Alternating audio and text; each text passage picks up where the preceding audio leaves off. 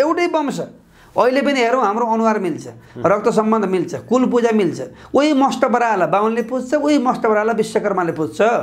त्यही भारद्वाज गोत्र वशिष्ठ गोत्र कश्यप गोत्र अत्रि गोत्र मिल्छ। सबै मिल्छ मेरो भारद्वाज गोत्र। भारद्वाज गोत्रका कति परिवार कति नेपाली कति विश्वकर्मा कति सुनारहरू। कति रम्तेलहरू? यति मात्र होइन अचम्म कुरो सबभन्दा बढी हेपिएको वर्ग हाम्रो माने वादी समुदाय। हाम्रो दाङमा छ। कयौँ भारद्वाज गोत्रका वादी एकजना साथी भेटिनु भयो। भारत मेरो पनि त्यही गोत्र छ। उहाँको पनि त्यही ल्याइ हेर्नुहोस्।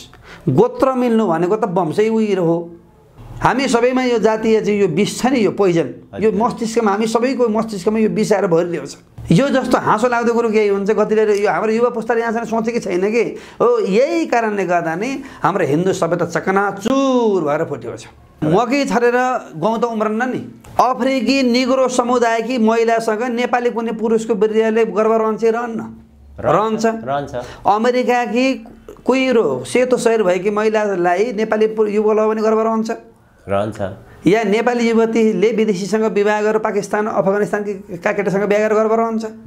गर्व रहने भएको हुनाले त हामी मान्छे एउटै हौँ कि? मान्छेमा जातै छैन। तर पृथ्वीमा हामी भएका कति साढे सात अर्ब कति मान्छे छौँ नि अहिले हामी। चाहे काला हौँ चाहे गोरा हौँ चाहे अग्ला हौँ चाहे होचा हौँ चाहे थेप्चो नाक होस् चाहे चुच्चो नाक होस् चाहे जेसुकै होस्। यो पृथ्वीमा जति न त गाईको बहरको गर्व भैँसिया रहन्न नि कुखुराको भालेको गर्व परेवा पथीमा रहन्न नि। मयुरको गर्व जुरेर चरामा रहन्छ। त्यो मान्छेमा त रहन्छ नि त।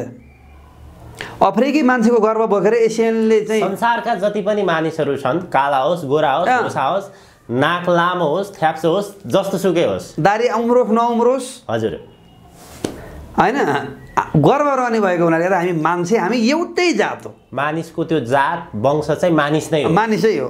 त्यस्तो मान्छेमा जात यो यो चाहिँ कामै नलाग्ने कुरा हो यो। रूपन्देहीमा एक ठाउँमा ल वेद पढ्दा केही पनि हुन्न भनेर मैले पढाएँ। यस्तै पब्लिक प्रोग्राममा ल आउनुहोस् ओम गणानान त्वा गणपति गुङ भनेर वेद पढाएँ एकजना। परिवार थर्का हुनुहुन्थ्यो उहाँ। अब बेलुकी उहाँको घरमा भैँसी बिमारी भएछ कि? दिउँसो छोराले वेद पढेको त्यही भएर वेद पढ्यो भने भैँसीहरू कहाँ चढ्छ भन्थे। त्यही भएर भैँसी बिमारी भयो भनेपछि मलाई बेलुकी फोन आयो गुरु दिउँसो वेद पढेको अहिले भैँसी बिमारी भयो भन्छ। कसरी सम्झाउनुहुन्छ जाति छुत अछुतै थिएन। बिगारे सबै दक्षिणबाट आएकाले बिगारे। जस्तै खस सभ्यतामा चाहिँ सबभन्दा बढी पुज्ने देवता मस्ट अँ। उही मस्ट पुज्छ सबैले। होइन? दराईले मस्ट पुज्छ कुमारले मस्ट पुज्छ बाहुनले मस्ट पुज्छ विश्वकर्माले मस्ट पुज्छ कुल देवता एउटै छ। धामी बोलाउने बकाउने धोप राख्ने झाँक बहने शिला स्थापना गर्ने पूजाविधि एउटै छ। हामी सबै छुवाछुत यो कुरीति यो कुसंस्कारमा जगडिएका छौँ जेलिएका छौँ। त्यही भएरै हामी चाहिँ सामाजिक रूपमा आर्थिक रूपमा पिछडिएको कारण त्यही हो देशको विकास भएन भन्छौँ नि। हाम्रो देशको विकास भने चेतनाको विकास हुनुपर्छ चेतनाको विकास भएपछि मात्रै मान्छेको टेक्नोलोजी विकास गर्छ। टेक्नोलोजीले मात्रै विकासमा पुग्ने हो कि होइन? हामी यसैमा रुमल लिएका छौँ। हामी सबै हामी नेपालमा भएका रहेका जति पनि हामी मान्छे छौँ हामी सबैलाई छोराछोरीको विवाहमा आफ्नो जात ल्याइदिन्न कि भन्ने चिन्ता छ कि? बाहुनको यहाँ त्यही चिन्ता छ छेत्रीको यहाँ त्यही चिन्ता छ मगरको यहाँ त्यही चिन्ता छ गुरुङको यहाँ त्यही चिन्ता छ विश्वकर्माको यहाँ त्यही चिन्ता छ परिवारको यहाँ त्यही चिन्ता छ कसरी हामी माथि उठ्छौँ भने? वीरेन्द्र श्रेष्ठ वीरेन्द्र जीसी वीरेन्द्र अर्याल होइन? वीरबहादुर विश्वकर्मा भनेर जुन थ त्यो नाम त उयो हो नि। हजुर हजुर।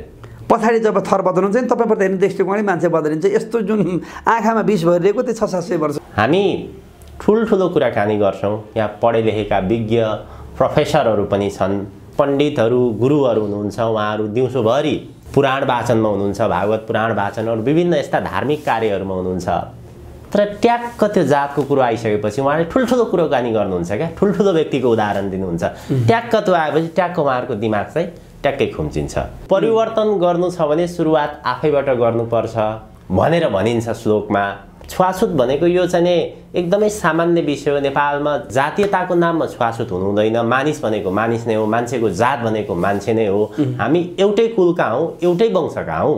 खालि कामको आधारमा छुट्याइएको मात्र हो भनेर यसरी भनिरहँदाखेरि तपाईँलाई नै आइपर्यो ल अब तपाईँ बाहुन समुदायको मान्छे पन्थी समुदायको। कथित सर्वोच्च बाहुन भएको? तपाईँको चाहिने सन्तान कसैले? छोराले नै भनौँ छोरीले नै अर्को दलित समुदाय अहिले तथाकथित भनेको दलित समुदायमा सम्बन्ध जोडियो भने स्वीकार्न सकिएला किन नसक्नु भने? अब आशा छ कोही त्यस्तो मान्छे भेटियोस् उहाँलाई सन्धि पाउन पाइयोस्। त्यो समुदायकी कन्या चाहिँ हाम्रोमा मेरी बुहारी भएर आउन्। त्यो समुदायको चाहिँ योग्य मेरी छोइलाई मनपर्ने खालको वर चाहिँ ज्वाइँ भएर आउन्। त्यही त हो मेरो लक्ष्य उद्देश्य। नत्र यो चिज चाहिँ किन हिँड्न पऱ्यो। थियो खुरु खुरु श्राद्ध गराउने सत्यनारायण पूजा गराउने भागवत गराउने खाने गरेर भइहाल्छ। चाहिँ धेरै ठुलो बनाइसक्नु भएको छ तपाईँ। होइन जातीय छुवाछुत त मेरो हृदयबाट मैले त्यागेँ।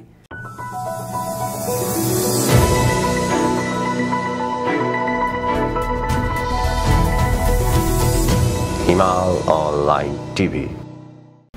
विश्वभरिबाट हिमाल अनलाइन टेलिभिजन हेरिरहनुभएका हजुरहरू सम्पूर्णमा हार्दिक नमन व्यक्त गर्दछु। नेपाली समाज निकै लामो समयदेखि जातीय विभेदले जगडिएको छ। वास्तवमा जातीय विभेद किन हुन्छ? यसका पछाडिका कारणहरू के हुन्? यो जातीय विभेदलाई जरैबाट उखेलेर फाल्न के गर्नुपर्छ? यी विविध प्रसङ्गमा आज म कुराकानी गर्दैछु। धार्मिक अभियन्ता पुराण वाचक हुनुहुन्छ। विशेष गरी दुई हजार पैँसठी सालबाट नेपालमा जातीय विभेदको अन्त्य गर्नुपर्छ भनेर अभियान चलाइरहनु भएको छ। भीमकान्त पन्थी हुनुहुन्छ। तर उहाँले आफ्नो थरलाई हटाएर अहिले भीमकान्त भागवत लेख्नुहुन्छ। उहाँसँगको विशेष कुराकानी आज प्रस्तुत गर्दैछु। स्वागत छ हजुरलाई। नारायण हरि धन्यवाद यहाँलाई। अब यो एउटा चाहिँ नि महत्त्वपूर्ण अवसरमा काठमाडौँ आएको बेला हजुरको बसाइ। अँ, अहिले म उतै मधेसतिर बस्छु हजुर। हजुर बुटोलबाट काठमाडौँ आएको बेला यो। अवसर जुराएर हजुर समक्ष म कुराकानी गर्दैछु। खास गरी नेपालमा धेरै समस्याहरू छन्। समस्या त नेपालमा मात्र नभएर विश्वमा नै समस्या हुन्छ। तर धेरै समस्यामध्येको एउटा सामाजिक समस्या जातीय छुवाछुतको समस्या। नेपालमा जातीय प्रथा कसरी अन्त्य गर्न सकिन्छ भनेर यहाँ निरन्तर पैँसठी साल यता लागिरहनु भएको छ। खास गरी नेपालमा जातीय समस्या हुनुको प्रमुख कारण के हो र यो निरन्तर हजुरले लागिरहँदाखेरि जातीय छुवाछुतको अन्त्य किन हुन सकेका छैन? यो जायत यसमा जायत यत्र कहाँ जन्मिन्छ र कोबाट जन्मिन्छ भनेर जनाउने पदलाई जात भनिन्छ। जस्तै पोखरामा जन्मेको पोखरेल। जस्तै रुकुममा जन्मेको रुकुमेली। रोल्पाको मान्छे रोल्पाले भने जस्तै कहाँ जन्मिन्छ र कोबाट जन्मिन्छ भनेर जनाउने जुन पद हो त्यसलाई जात भनेर मानियो। जुन बेलामा कृषि युग थियो पशुपालन युग थियो त्यो बेलामा कजाउने वर्ग र कजिने वर्ग भनेर छुट्यो कि जो आर्थिक रूपमा कमजोर थिए सामाजिक चेतना उनमा थिएन शिक्षा थिएन जब मान्छे आर्थिक रूपमा विपन्न भएपछि अर्काको अधीनमा पर्न पर्छ नि। त्यो कजिने वर्ग र कजाउने वर्ग दुई थरी वर्ग विभाजन भयो। र जो कजाउनेवाला वर्ग थियो तत्कालीन समयमा त्यो कजाउनेवाला वर्गले कजिनेवाला वर्गलाई चाहिँ दास वर्गका रूपमा रूपान्तरण गर्यो। दास वर्ग स्थापना गर्यो र दास वर्ग जब स्थापना भएपछि त पुस्तौँ पुस्ता फेरिमा कजाउन पाइयो? बुढा बाबुले माने हजुर बाबुले हजुर बाबुगामा जोत्यो? बाबुले बाबुगामा जोत्यो छोराले छोरागामा जोत्यो नातिले नातिकामै जोत्छ पनातिले पनातिकामा जोत्छ। पुस्तौँदेखि हलिया राख्ने पुस्तौँदेखि फेरिमा काम गजाउने। जस्तै हजुरबा कहाँ हजुरबा आर्ने थियो बुढाबा कहाँ बुढाबा नै आर्ने भयो बाबु कहाँ बाबु नै आर्ने भयो। अनि पछिबाट छोरा कहाँ छोरा नै आर्ने भयो। त्यस्तो जुन पुस्तौँदेखि जुन काम गजाउने जुन सिस्टम यो जुन दास प्रथा दास युग भन्छ त्यो चाहिँ उत्तर वैदिक काल। पूर्व वैदिक कालमा यो केही पनि थिएन। उत्तर वैदिक कालबाट त जुन दास युग सुरु भयो त्यसको अवशेष यो यो हो। अब समाजमा शैक्षिक राजनीतिक प्रशासनिक जति पनि अधिकार हुन्छ जति पनि एउटा चाहिँ कमान्ड हुन्छ त्यो चाहिँ कजाउनेवाला वर्गमा हुन्छ। कजाउनेवाला वर्गले त कामै गर्न पर्यो। उमा त्यो चेतना पनि हुन सक्दैन। र बिस्तारै युगौँ बित्दै आउँदाखेरि यो नै धर्म हो। यो नै सभ्यता हो। यो जाति प्रथा मान्नु नै तिम्रो धर्म हो। यो माने मात्रै मुक्ति हुन्छ। ईश्वर प्राप्ति गर्छु भनेर त्यहाँसम्म व्याख्या गरेर त्यो वर्गलाई सोच नै नदे नहुने। म पनि मान्छे हुँ। वयम अमृतस्य पुत्र भन्छ वेदले। म ईश्वर परमात्माको सन्तान हुँ। म सार्वभौम स्वतन्त्र छु। म उन्मुक्त जीवात्मा हुँ। म परमात्मासँग म आफू मिल्न सक्छु भने जुन वेदले दिएको चेतनालाई क्लोज गरेर यो नै तिम्रो धर्म हो। जाति प्रथा मान्नु नै तिम्रो धर्म हो। चमारले छालाको काम गर्नु बाहेकहरू पाप हो। होइन? दमाईले दमा बजाउनु बाहेकहरू पाप हो। त्यस्तो खालको व्याख्या भइदियो र। अनि जुन काम जुन श्रम शोषणको चाहिँ परिपाटी पुस्तौँ पुस्ता सर्दै आयो नि फेरि त्यो यदि हटाइयो भने त त्यो सिस्टम बिग्रन्छ। कजिराखेको छ नि त जोतिराखेको छ काम गरिराखेको छ। त्यस कारणले गर्दा त्यसलाई यथावत राखियो। उसले काम गरिरहोस् उसको दर पुस्ता पुस्ताले भनेर यसरी यसलाई यथावत राख्दै आइयो यसलाई सांस्कृतिक रूपमा सामाजिक रूपमा राजनीतिक रूपमा अनेक व्याख्या गरेर त्यसलाई सेभ गरियो र अहिलेसम्म यो कुप्रथा कुरीति निरन्तर कायम छ यो एउटा जो सामाजिक परम्परा कायम रह्यो सत्य यही नै हो भन्ने हिसाबले जसरी चेतनामा फैलाइयो जातीय प्रथा जातीय भेदभाव अन्त्य। हुन नसक्नुको प्रमुख कारण मध्येको एउटा प्रमुख कारण यो हो। प्रमुख कारण भने कि यो निशुल्क श्रम गरेकै उनले निशुल्क। उनलाई धेरै काम दिनै परेन। वर्षमा दुई चारवटा झोता मकै दिए भयो दुई चार पाथी अन्न दिए भयो। दसैँ तिहारमा अलिअलि दही दुध घिउ दिए भयो कि? एकदम सस्तोमा। निशुल्क अथवा एकदम सस्तोमा चाहिँ जुन श्रम गराउने परिपाटी बस्यो त्यो एउटा दास वर्ग भन्नु कि? गाउँमा हेर्नु बाचा नि यहाँले। तराईमा अहिले पैसा कमाए पढेर राम्रो छ व्यवस्था आफ्नो ठाउँमा यो राम्रो कुरा। तर पाहाडमा गएर हेर्नु हो भने सबभन्दा खेती नहुने ठाउँ। पानीले नै टाढा जानुपर्ने ठाउँ। ढुङ्गै ढुङ्गा भएको ठाउँमा हाम्रो यो श्रमजीवी वर्ग बस्छ नि त। यो दास वर्ग बस्छ। जसलाई त्यो बेला दास बनाइएको थियो। किन? भन्दाखेरि मलिलो पाटो भएको ठाउँमा बस्यो भने त आफै अन्न उब्जनी गर्छ। घरमा खाना भयो भने काम गर्नु खोइ जान्छ। घरमा प्रशस्त खाना पाउने मान्छे अहिले पनि जागिर गरेर हिँडिँदैन नि त। अघि होइन? त्यस कारणले आफू आफूमा आर्थिक रूपमा जो अनेबल छ असक्षम छ उसले नै हो नि त काम गर्ने। अब- त्यस्तो खालको परिपाटी विकास गरिदिएको छ त्यही भएर जाति प्रथा अहिलेसम्म स्थापित छ। नेपालमा जातीय प्रथा अहिलेसम्म कायम छ। अहिलेको अवस्था हेर्ने भने सामाजिक चेतना मान्छेको मानसिक चेतना अध्ययनको हिसाबले पनि अब प्राय सबै समुदायका मानिसहरू धेरै नै अगाडि देखिन्छ पहिलाको तुलनामा। त्यही पनि जातीय प्रथा कायम छ। यो प्रसङ्गमा म आउँछु। नेपालमा जसरी जातीय विभाजन गरिएको छ नि खास गरी हेर्ने भने ब्राह्मण क्षेत्र वैश्य शूद्र यो चारवटा क्याटेगोरीमा राखिया छ। अब त्यो मध्येको अरू उपजातिहरू छन्। तपाईँको अध्ययनले तपाईँको बुझाइले जात कसरी रहन गयो के को आधारमा रहन गयो यो यो अलिकति महत्त्वपूर्ण विषय पहिला उठाउँ त हामी। अब यो जुन पूर्व वैदिक काल अर्थात् हाम्रो त्यो स्वर्ण युग जुन बेलामा विभेद थिएन छुवाछुत थिएन मान्छेले मान्छेलाई सम्मान गर्ने न राज्यम न राज्य थियो होइन न शासन थियो न कानुन थियो। व्यक्ति आफैमा परस्परम आपसमा मिलेर चाहिँ समाजमा रहन्थ्यो त्यो सत्ययुग भन्थ्यो। वैदिक युग।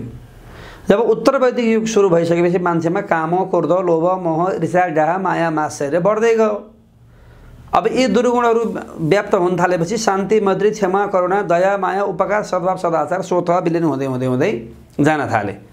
र त्यो बेलामा चारवटा वर्ण डेभलप भए वर्ण जीवन वृत्ति मिति भन्छ कि वर्ण भनेको जीवन वृत्ति हो। के गरेर खाने त्यसलाई जीवन वृत्ति भनिन्छ पढाएर खाने कि होल्डिङ सेन्टर खोल्ने कि हेयर कटिङ खोल्ने कि व्यापार गर्ने कि होइन फ्रेस हाउस खोल्ने कि। अब के गर्ने म चाहिँ पण्डित बन्ने कि। के गरेर उसले चाहिँ जीवन निर्वाह गर्छ भन्ने कुरो नै जीवन वृत्ति हो। वर्णको अर्थ हो जीवन वृत्ति ब्राह्मणोश्च मुखमासित बाहु राजन्य कृत उरुह तदसित वैश्य पदभ्या गुङ शूद्र अजायत। भनेर एउटा श्लोक छ।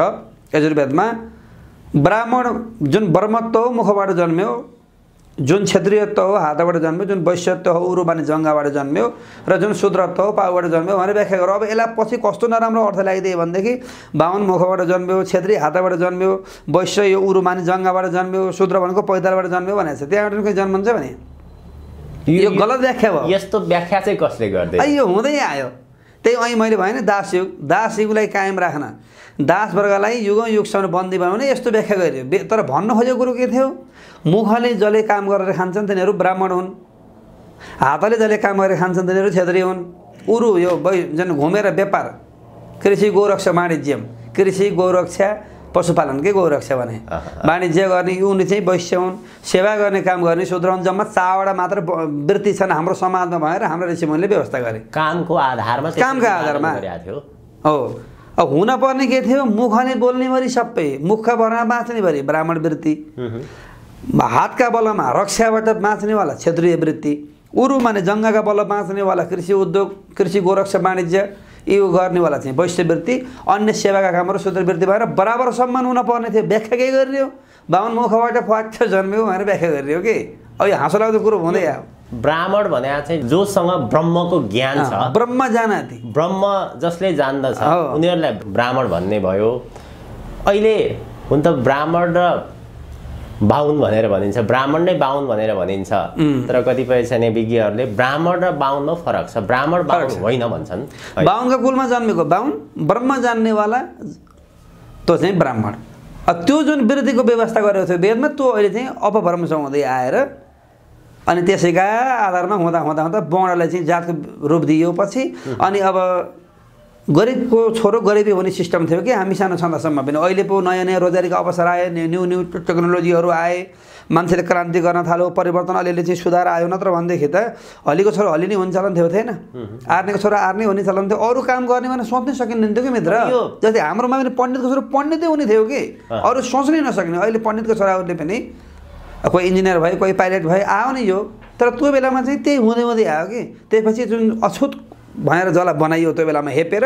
उनका सन्तान पनि त्यत्तिकै हेपिँदै अब नेपालमा चाहिँ विशेष गरी पछाडि परेका जातिहरू वर्गहरू धेरै छन्।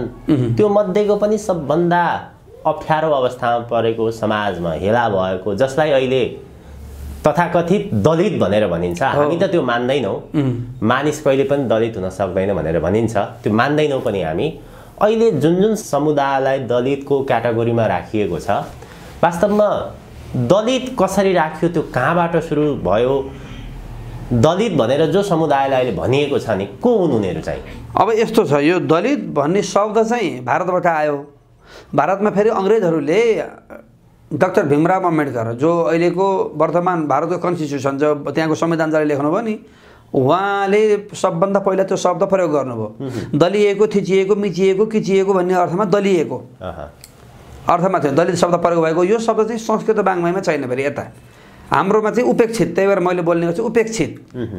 उपेक्षा गरिएको तिरस्कार गरिएको हेला गरिएको सरकारले दलित बनाएको समाजले उपेक्षा गरेको वर्ग जुन हाम्रो छ नि त्यो एउटा वर्ग त्यो वर्ग त हाम्रै दाजुभाइ हुन्। ती टाढा कुनै अर्कै गर्भबाट आएका होइनन्। एउटै रक्त सम्बन्ध एउटै कुल खानदान एउटै हाँगो एउटै सभ्यता एउटै भाषा एउटै संस्कृति मान्ने हाम्रै दाजुभाइ हो। कुनै बाहिरबाट आएको छुट्टै नहोला। उपेक्षित भए उनीहरू चाहिँ त्यो दलितको वर्गमा कसरी पारिए? त्यही भयो चाहिँ अनि मैले सुरुमै दास युगको बारेमा व्याख्या गरेँ। हजुर हजुर। अब एउटा भाइ चाहिँ पढ्न थाल्यो सफा सुग्घर भयो बिहान उठ्यो नुहाइधुवाइ गऱ्यो पूजा गऱ्यो सन्ध्या वन्दनादि गर्न थाल्यो एक भाइले। अर्को भाइले फलामको काम गर्न थाल्यो बिहान उठ्न पऱ्यो फुर्सद हुन्न नि त काम गर्ने मान्छेलाई। अनि जङ्गलमा जानु पऱ्यो गोल काट्नु पऱ्यो गोलकै अँगार। गोल काट्नु पऱ्यो लिएर आउनु पऱ्यो। जङ्गलमा जाऊ सुकिया काठ काट त्यसलाई फेरि अँगार बनाऊ गोल बनाऊ कालो भइयो मैलो भइयो। अनि गोल बोकेर गाउँमा आउने बेलासम्म त दिउँसो बाह्र एक बजे बज्दैन। भोक पेन लायो अब आज नुहायो भोलि नुहायो पर्सिबाट सफा हुन मन लाग्छ छोड्यो भोकले आइतिएपछि मान्छेले हामी गाउँतिर काम गर्ने बेलामा रोपाइँ गर्ने बेलामा अलिअलि हात पखालेर हिले हातैसित खाजा खाइ खाइन्थ्यो कि उता पाहाडमा। एउटै काम निरन्तर गरेपछि जस्तै माटोमा खेती गर्ने किसान हामी जो किसान परिवारमा म जन्मेँ हाम्रोमा चाहिँ माटोलाई धेरै घिन मानिने होइन जुन काममा बढी हामीले काम गरिन्छ नि त्यसमा चाहिँ घिन मानिँदैन नि माटो त प्रकृति हो। माटो बिना त मानिसको जीवन नै त्यहाँ पनि। त्यही भयो। गोल लिएर आउनुभयो उहाँ भाइले। एउटा भाइले गोल लिएर आएपछि काले हातसँग सफा नहुने फुर्सद भएन कि दिउँसो बाह्र एक बजेपछि भोक लाग्छ लाग्दैन एउटै दाजुभाइ हो एउटै दाजुभाइ हो। एउटै वंश। अहिले पनि हेरौँ हाम्रो अनुहार मिल्छ। रक्त सम्बन्ध मिल्छ कुल पूजा मिल्छ। उही मष्ट बराला बाहुनले पुज्छ उही मष्ट बराला विश्वकर्माले पुज्छ। त्यही भारद्वाज गोत्र वशिष्ठ गोत्र कश्यप गोत्र अत्रि गोत्र मिल्छ। सबै मिल्छ मेरो भारद्वाज गोत्र। भारद्वाज गोत्रका कति परिवार कति नेपाली कति विश्वकर्मा कति सुनारहरू। कति रम्तेलहरू? यति मात्र होइन अचम्म कुरो सबभन्दा बढी हेपिएको वर्ग हाम्रो माइने वादी समुदाय। हाम्रो दाङमा छ। कयौँ भारद्वाज गोत्रका वादी एकजना साथी भेटिनु भयो। भारत मेरो पनि त्यही गोत्र छ। उहाँको पनि त्यही छ। ल्याइ हेर्नुहोस्। गोत्र मिल्नु भनेको त वंशै उयो हो। अब यसमा एउटा अचम्म चाहिँ के छ भने जस्तै उहाँहरू अरू समुदायबाट उपेक्षित भन्दा पनि त्यही समुदायबाट आफ्नै दाजुभाइबाट उपेक्षित। जस्तै अहिले जो बाहुन समुदाय भनेर भनिन्छ उहाँ- बाहुन भनौँ न। छेत्री बाहुन भनौँ अहिलेको परम्परामा अहिलेको चलन चल्तीको भाषामा।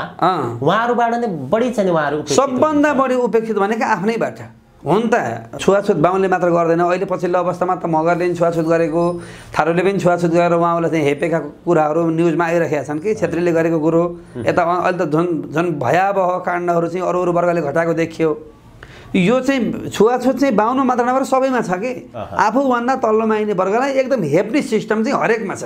फेरि त्यहीँ पनि उहाँहरूमा पनि त्यही छ फेरि। कति गाह्रो छ हेर्नुहोस्। बाहुन छेत्री समुदायले अहिले जसलाई तथाकथित दलित भनेर भनिएको छ त्यो समुदायले त्यसरी उपेक्षित गर्नु छुको नखानु पानी चाहिने छुको नखानु अरू अरू विविध छन् नि त्यसभित्रमा।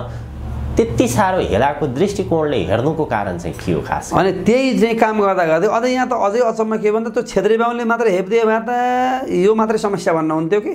त्यहाँ पनि हेपाइ छ कि? त्यहाँ पनि विश्वकर्माले फेरि परिहार छोएको नखाने फर इक्जाम्पल एउटा बता यस्तै यस्तै छ कि त्यहाँ विभाजन? अब मैले धेरै अन्तर्वर्गीय विवाहहरू गराएँ। अन्तर्जातीय भन्दैन जात भनेको हिन्दू एउटा हाम्रो जुन कम्युनिटी छ नि हाम्रो एउटै संस्कृतिमा नि हामी एउटा जात। त्यो कसरी छोटो छोटो जात हुन्छ भन्ने मेरो आफ्नो तर्क। अन्तर्वर्गीय। एउटा जातभित्र धेरै वर्ग हुन्छन्। अन्तर्वर्गीय विवाह गराएँ बरु बाहुनका घरमा सुनारकी छोरी बुहारी बनाएर ल्याउँदाखेरि त्यति धेरै मलाई रिक्स मल्न परेन। मलाई के मेरो आफ्नो अनुभव? आफ्नो अनुभव सेयर गर्ने हो नि त। ए तर परिवारकी छोरी विश्वकर्मा कहाँ बुहारी बनाउने होला धन्न मैले नि पिटे खानुपर्ने अवस्था आइदिने कि? पूजा गर्ने पण्डितलाई नि। ए अझ यताभन्दा त्यता त्यहाँ झन् चर्को यहाँ सबैमा चर्को। छेत्री मात्र होइन उहाँ अझै चर्को छ। अब मगरका पनि छुवाछुत छ गुरुङका पनि छुवाछुत छ कथित उपेक्षित वर्गमा पनि छुवाछुत छ अब हाम्रो बाहुन वर्गमा पनि छुवाछुत छ। हामी सबै छुवाछुत रूपी यो कुरीति यो कुसंस्कारमा जगडिएका छौँ जेलिएका छौँ। त्यही भएरै हामी चाहिँ सामाजिक रूपमा आर्थिक रूपमा पिछडिएको कारण त्यही हो। देशको विकास भएन भन्छौँ नि हामीले। देशको विकास भने चेतनाको विकास हुनुपर्छ चेतनाको विकास भएपछि मात्रै मान्छेको टेक्नोलोजी विकास गर्छ। टेक्नोलोजीले मात्रै विकासमा पुग्ने हो कि होइन? हामी यसैमा रुमल लिएका छौँ। हामी सबै हामी नेपालमा भएका रहेका जति पनि हामी मान्छे छौँ हामी सबैलाई छोरछोरीको विवाहमा आफ्नो जात ल्याइदिने कि भन्ने चिन्ता छ कि? बाहुनको यहाँ त्यही चिन्ता छ छेत्री कहाँ त्यही चिन्ता छ मगर कहाँ त्यही चिन्ता छ गुरुङ कहाँ त्यही चिन्ता छ विश्वकर्मा कहाँ त्यही चिन्ता छ परिवार कहाँ त्यही चिन्ता छ कसरी हामी माथि उठ्छौँ भने? हामी सबैमा यो जातीय चाहिँ यो विष छ नि यो पोइजन। यो मस्तिष्कमा हामी सबैको मस्तिष्कमा यो विष आएर छ। जस्तै हाम्रो यो हिन्दू परम्परा भनौँ अथवा वैदिक परम्परा भनौँ मैले अलिकति। हाम्रो सामाजिक क्षेत्रलाई अध्ययन गर्दा पनि हाम्रो जे एउटा समुदाय जात भनेर भनिएको छ त्यो जातले त्यो समुदायले त्यही समुदायसँग विवाह गर्दाखेरि कुल वंश चाहिँ राम्रो हुन्छ। कुल वंश परम्परामा त्यसले दीर्घकालीन रूपमा फाइदा पुर्याउँछ भनेर भनिन्छ। यो विषयलाई तपाईँले कसरी अध्ययन गर्नु यो त अफवाह मात्रै हो कि? हामीले कुन कुल परम्परा मान्छौँ भन्दा हाम्रो पितृ सत्तात्मक परम्परा मान्छौँ। हामीले बीज प्रमाण मान्छौँ वैज्ञानिक पनि छ। होइन? जस्तै पोखरेलले भट्टराईकी छोरी विवाह गर्यो भनेदेखि भट्टराईकी छोरी आएपछि थर के हुन्छ? भट्टराई हुने भयो। पोखरेल हुन्छ। पोखरेल पोखरेल हुने भयो। पोखरेल हुने भयो। जन्मनेवाला सन्तान पनि बाबुको बीज प्रमाणले के हुने भयो? पोखरेल हुने भयो। जुनेली मकै इलाममा छरे पनि जुनेली मकै पिउखानमा छरे पनि जुनेली मकै रुकुममा छरे पनि जुनेली मकै जहाँ छरे जुनेली मकै हो। बिउ प्रमाण हुन्छ नि रुखमा छर्दैमा छुट्टी त हुन्न। त्यस कारणले गर्दा यो चाहिँ सिस्टम चाहिँ वैज्ञानिक छ। भनेपछि एकैछिन। समुदायले जुन। जातले जुन विभाग अनि भन्दैछु मैले त्यहीँ जाँदैछु जुन यो सुग्रकिट प्रमाण बीज प्रमाण बाउ प्रमाण मान्ने जुन संस्कृति छ नि यो त हामी सबैले मानेका छौँ अब रह्यो एकजना ब्राह्मण समुदायको मान्छेले मानव विश्वकर्माकी छोरी विवाह गर्यो भनेदेखि विश्वकर्माकी छोरी आएपछि के थर हुन्छ ब्राह्मणै हुने भयो यहाँ त बिगमना दिन्छ जन्मेकालाई त्यो त्यस्तो छ फेरि यहाँ ल हेर्नुहोस् मानव म पनि पन्थीले मैले मानव अर्यालकी छोरी विवाह गरेँ भनेदेखि मेरी पत्नी आउने बेलामा उनको थर हुन्छ अर्याल र जन्मनेवाला हाम्रो सन्तान चाहिँ ए सरी मेरी पत्नीको थर हुन्छ पन्थी। पन्थी म। पन्थीले विवाह गरेपछि मेरी पत्नीको थर पन्थी हुन्छ। र जन्मनेवाला सन्तानका पछाडि पनि मेरो नाम लेखिन्छ र तिनी पनि पन्थी हुन्छ। यो हाम्रो हाम्रो वंश परम्परा चाहिँ छैन। तर यहाँ अर्को अचम्मको चाहिँ लिएर लादेको छ एउटा कथित बाहुनले। मानव मैले कुनै छेत्रीकी छोरी विवाह गरेर लिएर आएँ भनेदेखि जन्मनेवाला सन्तानलाई लिएर गएर खत्री बनाइदिन्छ कि?